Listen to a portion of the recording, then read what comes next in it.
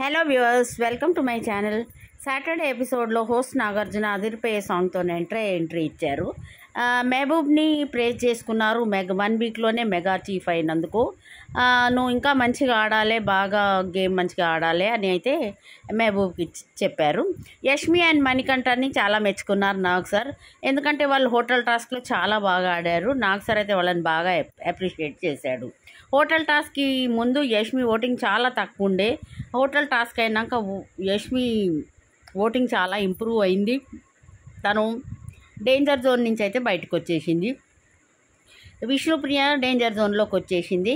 అయితే మనము ఓటింగ్ చూసుకుంటే అయితే first Mehboob second Gangavva third Yashmi fourth Vishnupriya తర్వాత అయితే మనకు పృథ్వీరాజ్ లాస్ట్లో సీత ఉంది. సీత అందరికన్నా లీస్ట్ ఉంది కాబట్టి ఈ వీక్ అయితే సీత ఎలిమినేట్ అవుతుంది.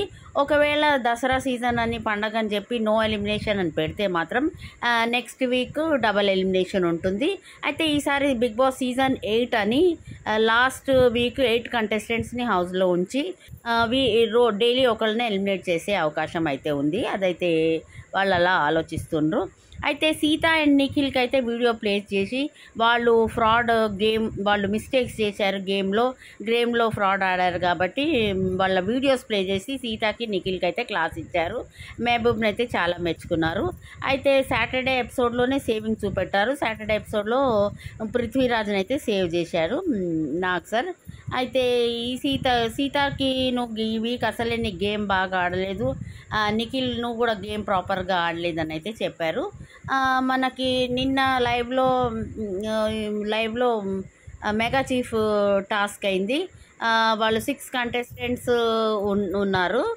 మన ఓజీ కంటెస్టెంట్స్లో మణికంఠ ఇక రాయల్స్లో ఏమో హరితేజ అవినాష్ నై అవినాష్ ఇంకా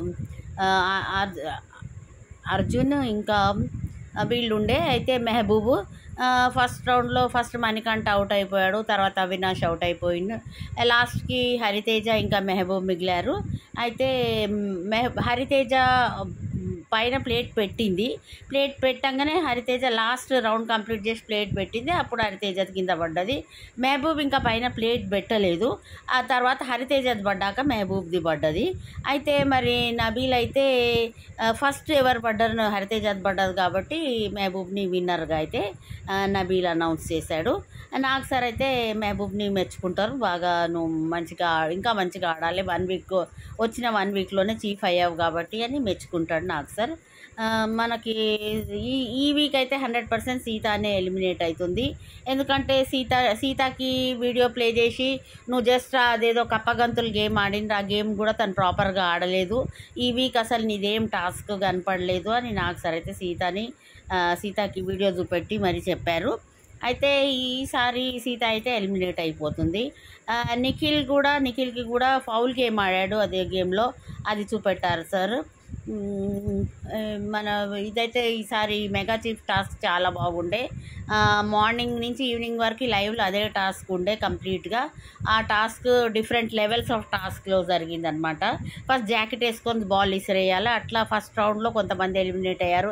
సెకండ్ రౌండ్లో కొంతమంది ఎలిమినేట్ అయ్యారు. చివరికి లాస్ట్ ఫోర్ మెంబర్స్ ఉండగా ఆ లాస్ట్ ఫోర్ మెంబర్స్కి బ్యాలెన్సింగ్ టాస్క్ ఇచ్చారనమాట ఆ బ్యాలెన్సింగ్ టాస్క్లో ఫస్ట్ అయితే మణికంఠ అవుట్ అయిపోతాడు తర్వాత అవినాష్ అవుట్ అవుతాడు తర్వాత హరితేజ లాస్ట్కి మెహబూబ్ మిగులుతాడు. మహబూబ్ తను మెగా చీఫ్గా అయితే సెలెక్ట్ అవుతాడు. ఇది చూడాలి. మెహబూబ్ అయితే గేమ్స్ చాలా బాగా ఆడతాడు.